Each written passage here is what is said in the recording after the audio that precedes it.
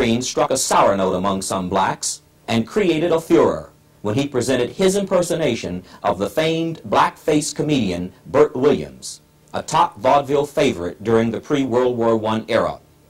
But before I talk with Ben Vereen, let me offer this brief bit of history. During Bert Williams' time, black performers, in order to work, were required to appear in blackface, that is, wearing a so-called burnt cork mask. The caricature they were forced to create was a shiftless, watermelon-eating coon, assassin of the English language.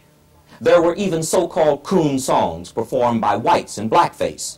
One title was, You May Be Hawaiian on Old Broadway, but you're just another nigger to me.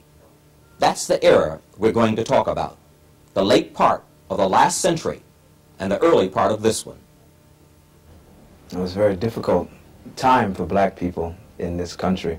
I, I preface it by saying it was a sick time in America because it was a time when, you understand, we were just coming out of the fields in the South, and uh, during that time, the performer were, was uh, running around, the white performers were going around the South during slavery, and they, on Sundays, used to see the blacks uh, entertaining themselves. Uh, that was the only day they gave us to have any sort of uh, um, entertainment was on Sundays, and, and a couple of uh, white performers came by and saw them dancing and singing in the fields, and one of them turned to the other and said, hey, that's a great idea. Why don't we put some cork on our face and we'll imitate the blacks? and they, they started a thing called minstrel shows, and they went off and started doing their thing, and uh, when Reconstruction came about and we came out of the fields and said, hey, let's get in the show business, they said, these guys are doing us, so we can do ourselves better than they can do us, except there was a catch-22 to it. You see, they said, you can perform, but you got to be in blackface.